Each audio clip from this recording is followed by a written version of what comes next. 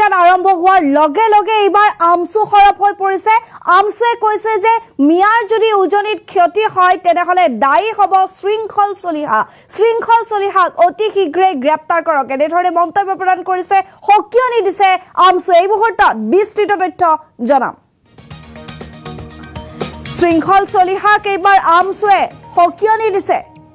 উজনিত যদি মিয়াৰ ক্ষতি হয় উজনিত মিয়াৰ ক্ষতি হ'লে শৃংখল চলিহা দায়ী হ'ব বুলি সকিয়নি দিছে। মিয়া নিৰ্যাতিত হ'লে বা মিয়াৰ প্ৰাণহানি হ'লে দায়ী হ'ব কেৱল শৃংখল চলিহা। উচতনিমূলক মন্তব্য দিয়া শৃংখল চলিহাক গ্ৰেপ্তাৰ কৰক বুলি দাবী উত্থাপন কৰিছে আমচুৱে। শৃংখল চলিহাৰ বিৰুদ্ধে অসম চৰকাৰে কঠোৰৰ পৰা কঠোৰতম ব্যৱস্থা গ্ৰহণ কৰক বুলি দাবী আমচুৰ। অপৰাধীৰ কোনো ধৰ্ম নাই অপৰাধীৰ কোনো জাত নাই এনেধৰণে মন্তব্য কৰিছে আমচুৱে। অপৰাধীক লৈ কোনেও ৰাজনীতি নকৰিব বুলি এক প্ৰকাৰ হুংকাৰ প্ৰদান কৰিছে আমচুৱে। অপৰাধীক লৈ এটা ধৰ্মকেই টাৰ্গেট নকৰিব। উজনিত যদি মিয়াৰ ক্ষতি হয় তেনেহ'লে দায়ী হ'ব কেৱল শৃংখল চলিহা আইনীভাৱে তেওঁলোকক শাস্তি প্ৰদান কৰক বুলি মন্তব্য কৰিছে। আমি জনাই আছো শৃংখল চলিহাই যি আজি ফেচবুক পোষ্ট দিয়া দেখিবলৈ পোৱা গৈছিল চেলেঞ্জ একচেপ্টেড শৃংখল চলিহাই এনেধৰণে আব্দুল ৰচিদ মণ্ডলক কৈছিল। তাৰ পিছতে মিয়া হতা অভিযান কিন্তু এইবাৰ আমচু সৰব হৈ পৰিছে। ঠায়ে ঠায়ে আমচুৰ প্ৰতিবাদ।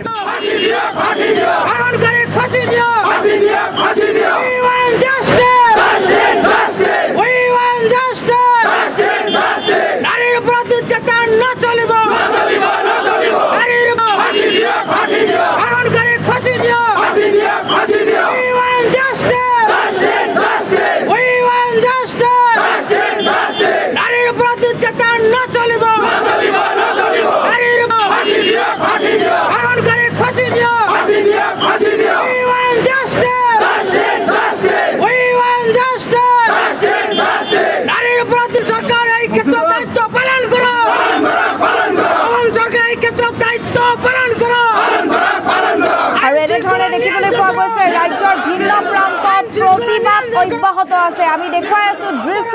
আৰু এয়া আমচুৱে এনেধৰণে প্ৰতিবাদ সাব্যস্ত কৰিছে। আমি জনাই আছো ঢিঙৰ যি সেই ঘটনাৰ চাঞ্চল্য সেই ঘটনাৰ চাঞ্চল্য মাৰ নৌজাওঁতে ভিন্ন প্ৰান্তত এনেধৰণৰ অমানৱীয় ঘটনা সংঘটিত হৈছে। কিন্তু আজিৰ দিনটোত এগৰাকী বিধায়ক আব্দুল ৰচিদ মণ্ডলে মিয়াক খেদাৰ কাৰ দম আছে বুলি প্ৰশ্ন কৰাৰ পিছতে শৃংখল চলিহাই ফেচবুক পোষ্ট কৰিছে চেলেঞ্জ একচেপ্টেড আব্দুল ৰচিদ মণ্ডল বিহু দেখুৱাই আছো তো কেনেধৰণে মন্তব্য বা তেওঁলোকৰ তেওঁৰ ফেচবুক পোষ্টৰ পিছতে উজনিত আৰম্ভ হৈ- গৈছে মিয়া হাতাও অভিযান। ঠায়ে ঠায়ে মি- ভাড়াঘৰত থকা সন্দেহজনক মিয়াক ইতিমধ্যে সেই স্থান ত্যাগ কৰাৰ সময়সীমা বান্ধি দিছে। সাত দিনৰ সময়সীমা বান্ধি দিছে। কিন্তু তাৰ পিছত আমচু সৰব হৈ পৰিছে। আমচুৱে এনেধৰণে মন্তব্য কৰিছে উজনিত যদি মিয়াৰ ক্ষতি হয় তেনেহ'লে একমাত্ৰ দায়ী হ'ব শৃংখল চলিহা। অপৰাধীৰ কোনো জাতি নাই ধৰ্ম নাই। অপৰাধীক অপৰাধীৰ দৃষ্টিৰে চাব লাগে আৰু তেনে এটা ধৰ্মক টাৰ্গেট নকৰিবলৈ আহ্বান জনাইছে আমচুৱে। মন্তব্য আছে এই বৃহৎ প্ৰতিবাদী কাৰ্যসূচী। তাৰ পিছতে তেওঁলোকে হুংকাৰ প্ৰদান কৰিছে মন্তব্যৰ জৰিয়তে। আগবঢ়াইছো।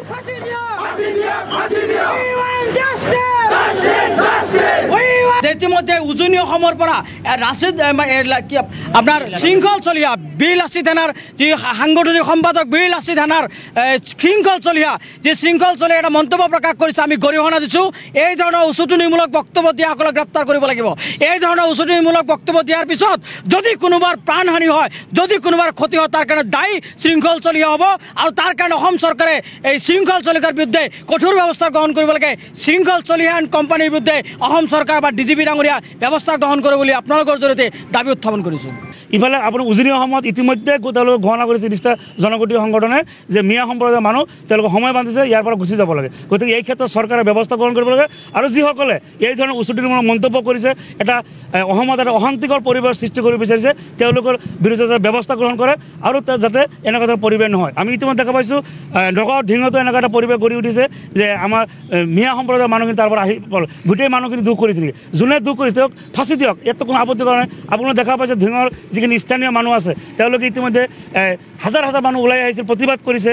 আজি তেওঁ যেনেকৈ মৃত্যু হ'ল মৃত্যুৰ পিছত তাতে জানাজাত তেওঁ অংশগ্ৰহণ নকৰে। জানাজাৰ বাবে ৰাজহুৱা কবৰ স্থান দিয়া নাই। গতিকে কোনেওতো আপোনাৰ এই হেৰি কৰা নাই যে তেওঁ দোষী তেওঁক মানে সঁহাৰি দিছে।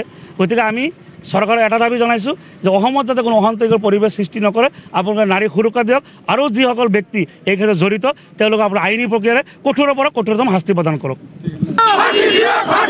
হরণকারী ফাঁসি দিও We want justice! যে কঠোৰৰ পৰা কঠোৰতম ব্যৱস্থা গ্ৰহণ কৰিব লাগে। মিয়া যদি উজনিত নিৰ্যাতিত হয় বা মিয়াৰ প্ৰাণহানি হয় তেনেহ'লে দায়ী হ'ব একমাত্ৰ শৃংখল চলিহা। উচতনিমূলক মন্তব্য দিয়া শৃংখল চলিহাক গ্ৰেপ্তাৰৰ দাবী এইসকল আমচুৰ সদস্য বা আমচুৰ নেতা কৰ্মীৰ উজনিত যদি মিয়াৰ ক্ষ- ক্ষতি হয় তেনেহ'লে দায়ী হ'ব শৃংখল চলিহা। শৃংখল চলিহা কেনেধৰণে আমচুৱে সকিয়নি প্ৰদান কৰিছে? উচতনিমূলক যি মন্তব্য দিয়া বুলি তেওঁলোকে কৈছে শৃংখল চলিহাৰ বিৰুদ্ধে অসম চৰকাৰে কঠোৰ ব্যৱস্থা গ্ৰহণ কৰিবলৈ তেওঁলোকে আহ্বান জনাইছে। তেওঁলোকে আৰু কৈছে যে অপৰাধীৰ কোনো ধৰ্ম নাই অপৰাধীৰ কোনো জাত নাই অপৰাধীক লৈ ৰাজনীতি নকৰিব। আজিৰ দিনটোত বিধায়ক আব্দুৰ ৰচিদ মণ্ডলে কৰা মন্তব্যৰ পিছতে উজনিত হাহাকাৰ উজনিত মিয়া হটাও অভিযান আৰম্ভ হৈছে। এসপ্তাহৰ সময়সীমা বান্ধি দিছে মিয়াক আৰু সেই স্থান ত্যাগ কৰাৰো নিৰ্দেশ দিছে। সন্দেহযুক্ত বংগমূলীয় লোকসকলক বংগমূলীয় মিয়াক আৰু তাৰ পিছতে আমচুৱে এনেধৰণে ঢিঙৰ যি সেই কাণ্ডক লৈ প্ৰতিবাদ সাব্যস্ত কৰিছিল যে ন্যায় লাগে ঢিঙৰ সেই পৰিয়ালটোক ন্যায় লাগে। লগতে ৰাজ্যৰ ভিন্ন প্ৰান্তত মানৱ সমাজক লজ্জানত কৰা যিসমূহ ঘটনা হৈছে সেই ঘটনাৰ ভুক্তভোগী পৰিয়ালসকলক ন্যায় লাগে তাক লৈ প্ৰতিবাদ সাব্যস্ত কৰাৰ মাজতে শৃংখল চলিহাক এনেধৰণে এক প্ৰকাৰ তেওঁলোকে মন্তব্য কৰিছে শৃংখল চলিহাক লৈ তেওঁলোকে কৈছে যে উজনিত যদি যিসকল মিয়া আছে সেই মিয়াৰ ক্ষতি হয় তেনেহ'লে দায়ী হ'ব কেৱল শৃংখল চলিহা। আৰু শৃংখল চলিহা মিয়া নিৰ্যাতিত হ'লে বা মিয়াৰ প্ৰাণহানি হ'লেও দায়ী হ'ব। উচতনিমূলক মন্তব্য দিয়া শৃংখল চলিহাক গ্ৰেপ্তাৰ কৰিবলৈ আহ্বান জনাইছে। দৃশ্য আমি দেখুৱাই আছোঁ। এয়া আমচুৰ যি প্ৰতিবাদী কাৰ্যসূচী এই প্ৰতিবাদী কাৰ্যসূচীত তেওঁলোকে এক প্ৰকাৰ হুংকাৰ প্ৰদান কৰিছে। পুনৰবাৰ তেওঁলোকৰ সেই মন্তব্য শুনো আহক। We want justice! নাৰীৰ উপৰ Super আপনাৰ শৃংখল চলিহা বীৰ লাচিত থানাৰ যি সাংগঠনিক সম্পাদক বীৰ লাচিত থানাৰ এ, শৃংখল চলিহা যি শৃংখল চলিহা এটা মন্তব্য প্ৰকাশ কৰিছে আমি গৰিহণা দিছোঁ। এই ধৰণৰ উচতনিমূলক বক্তব্য দিয়াসকলক গ্ৰেপ্তাৰ কৰিব লাগিব। এই ধৰণৰ উচতনিমূলক বক্তব্য দিয়াৰ পিছত যদি কোনোবাৰ প্ৰাণহানি হয় যদি কোনোবাৰ ক্ষতি হয় তাৰ কাৰণে দায়ী শৃংখল চলিহা হ'ব আৰু তাৰ কাৰণে অসম চৰকাৰে এই শৃংখল চলিহাৰ বিৰুদ্ধে কঠোৰ ব্যৱস্থা গ্ৰহণ কৰিব লাগে। শৃংখল চলিহা এণ্ড কোম্পানীৰ বিৰুদ্ধে অসম চৰকাৰ বা ডি জি পি ডাঙৰীয়া ব্যৱস্থা গ্ৰহণ কৰে বুলি আপোনালোকৰ জৰিয়তে দাবী উত্থাপন কৰিছোঁ ইফালে আপোনাৰ উজনি অসমত ইতিমধ্যে তেওঁলোকে ঘোষণা কৰিছে নিষ্ঠা জনগোষ্ঠী সংগঠনে যে মিয়া সম্প্ৰদায়ৰ মানুহ তেওঁলোকে সময় বান্ধিছে ইয়াৰ পৰা গুচি যাব লাগে। গতিকে এই ক্ষেত্ৰত চৰকাৰে ব্যৱস্থা গ্ৰহণ কৰিব লাগে আৰু যিসকলে এই ধৰণৰ উচতনিমূলক মন্তব্য কৰিছে এটা অসমত এটা অশান্তিকৰ পৰিৱেশ সৃষ্টি কৰিব বিচাৰিছে তেওঁলোকৰ বিৰুদ্ধে যাতে ব্যৱস্থা গ্ৰহণ কৰে আৰু যাতে এনেকুৱা ধৰণৰ পৰিৱেশ নহয়। আমি ইতিমধ্যে দেখা পাইছোঁ নগাঁও ঢিঙতো এনেকুৱা এটা পৰিৱেশ গঢ়ি উঠিছে যে আমাৰ মিয়া সম্প্ৰদায়ৰ মানুহখিনি তাৰ পৰা আহি পৰে। গোটেই মানুহখিনি দুখ কৰিছিল যোনে দুখ কৰিছে তেওঁক ফাঁচি দিয়ক ইয়াততো কোনো আপত্তি কৰা নাই। আপোনালোকে দেখা পাইছে ঢিঙৰ যিখিনি স্থানীয় মানুহ আছে তেওঁলোকে ইতিমধ্যে হাজাৰ হাজাৰ মানুহ ওলাই আহিছিল প্ৰতিবাদ কৰিছে। আজি তেওঁ যেনেকৈ মৃত্যু হ'ল মৃত্যুৰ পিছত তাতে জানাজাত তেওঁ অংশগ্ৰহণ নকৰে। জানাজাৰ বাবে ৰাজহুৱা কবৰ স্থান দিয়া নাই। গতিকে কোনেওতো আপোনাৰ হেৰি কৰা নাই যে তেওঁ দোষী তেওঁক মানে সঁহাৰি দিছে। গতিকে আমি চৰকাৰে এটা দাবী জনাইছোঁ যে অসমত যাতে কোনো অশান্তিকৰ পৰিৱেশ সৃষ্টি নকৰে আপোনালোকে নাৰীক সুৰক্ষা দিয়ক। আৰু যিসকল ব্যক্তি এই ক্ষেত্ৰত জড়িত তেওঁলোকক আপোনাৰ আইনী প্ৰক্ৰিয়াৰে কঠোৰৰ পৰা কঠোৰতম শাস্তি প্ৰদান কৰক। ইতিমধ্যে উজনি অসমৰ পৰা আপোনাৰ শৃংখল চলিহা বীৰ লাচিত থানাৰ যি সাংগঠনিক সম্পাদক বীৰ লাচিত থানাৰ শৃংখল চলিহা যি শৃংখল চলিহা এটা মন্তব্য প্ৰকাশ কৰিছে আমি গৰিহণা দিছোঁ। এই ধৰণৰ উচতনিমূলক বক্তব্য দিয়াসকলক গ্ৰেপ্তাৰ কৰিব লাগিব।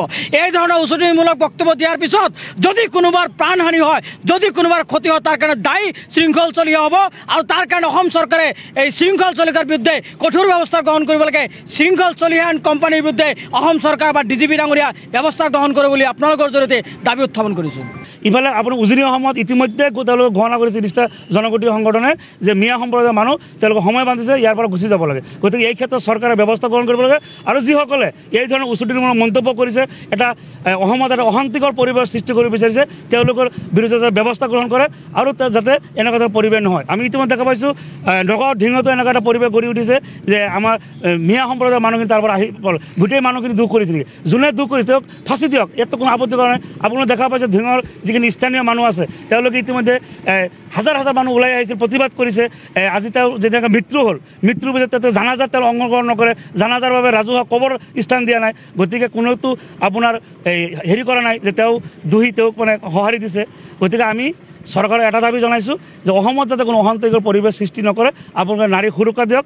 আৰু যিসকল ব্যক্তি এই ক্ষেত্ৰত জড়িত তেওঁলোকে আপোনাৰ আইনী প্ৰক্ৰিয়াৰে কঠোৰৰ পৰা কঠোৰতম শাস্তি প্ৰদান কৰক। চৰকাৰে এই ক্ষেত্রে দায়িত্ব পালন কৰক। এই ক্ষেত্রে দায়িত্ব পালন করো আইন শৃঙ্খলা নিয়ন্ত্রণ করো